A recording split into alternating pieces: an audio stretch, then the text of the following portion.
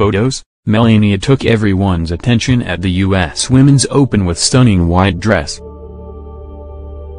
While women golfers were competing on the links, President Donald Trump was the winner in his own competition, as he boasted Sunday morning that he had attracted more supporters than protesters to his New Jersey golf club.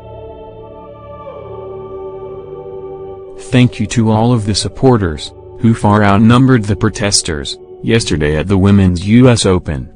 Very cool. Trump wrote.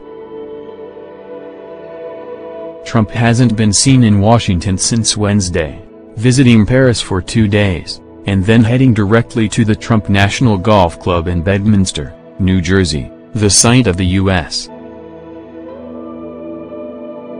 He was joined by the First Lady, his wife Melania, at the tournament on Sunday.